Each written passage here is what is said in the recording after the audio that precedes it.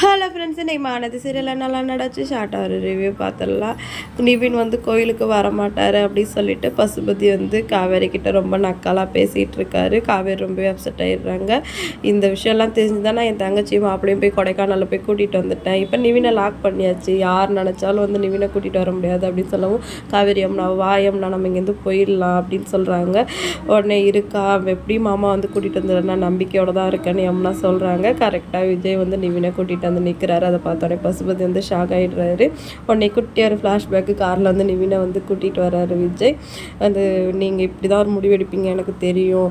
Chill bro அப்படின்னு சொல்லவும் என்னை சும்மா இரிட்டேட் பண்ணுற மாதிரி பேசாதீங்க. நீங்கள் மிரட்டினதுக்காக நான் அவங்க கூட வரல.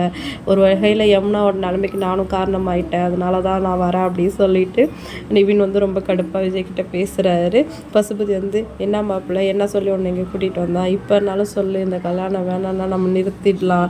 என்னால் நான் பார்த்துக்கிறேன்னு சொல்லவும் ஐயோ போதும் வாய முடியா? உன்னால தான் எல்லா பிரச்சனையும் வந்துச்சு. நீ செவனேன்னு இருந்திருந்தன்னா உன் பையன் வந்து எம்னாவை கடத்தாமல் இருந்திருந்தா அவளுக்கு என் மேலே விருப்பமே வந்திருக்காது.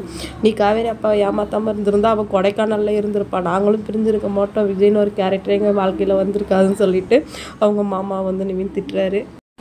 அடுத்ததில் சரி வாங்க மாப்பிள்ள போய் நம்ம ரெடி ஆகலாம் அப்படின்னு சொல்லிட்டு எம்னா ரொம்ப டல்லாக இருக்கா நீ போய் அவளை ரெடி பண்ணிட்டோம் அப்படின்னு சொல்லிட்டு காவேரி வந்து விஜய் வந்து அனுப்பிச்சி வச்சிடுறாரு.